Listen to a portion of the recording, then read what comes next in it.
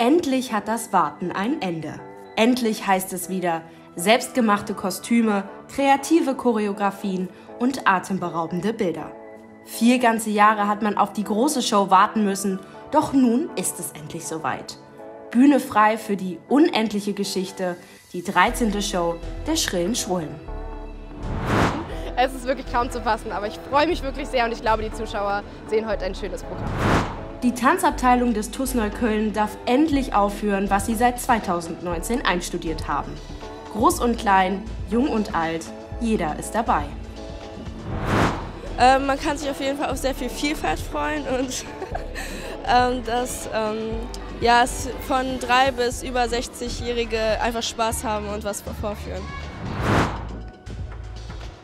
Und so beginnt eine wahre Rundreise. Hip-Hop, Jive oder ein Irish Jig. Dabei geht es einmal quer durch die bunte Welt von Disney und der schrillen Schrullen selbst. Es wird laut, bunt und vor allem vielfältig.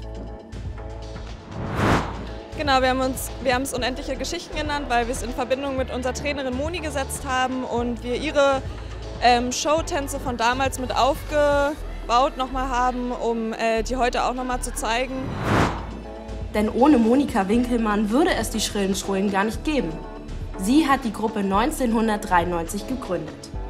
Anfang des Jahres ist sie verstorben, doch ihre Choreografien leben weiter. Von Klassikern wie Aladdin, Mulan oder Mary Poppins geht es zu Eigenkreationen wie The Wall, It's Raining Man und dem Froschtanz. Insgesamt 120 Tänzerinnen und Tänzer sind beteiligt, die so die Geschichte unendlich machen. Für manche ist es die erste Aufführung. Es ist überraschend familiär. Auch wenn wir noch gar nicht so lange dabei sind, fühlt sich das an, als ob wir unser Leben lang nichts anderes gemacht haben. Zum Ende wird es dann aber doch nochmal emotional, wenn Monika Winkelmann zu den Klängen von John Miles Music gebührend geehrt wird. Das Finale eben war sehr emotional, ähm, aber es hat wirklich Spaß gemacht und es fällt alles ein bisschen ab jetzt. Also wirklich gut. Verschiedene Tänze, vielfältige Gruppen und eine gemeinsame Leidenschaft. Das ist die 13. Show der Tanzabteilung des TUS Neukölln. Ganz getreu dem Motto, was lange währt, wird endlich gut und für immer in Erinnerung bleiben.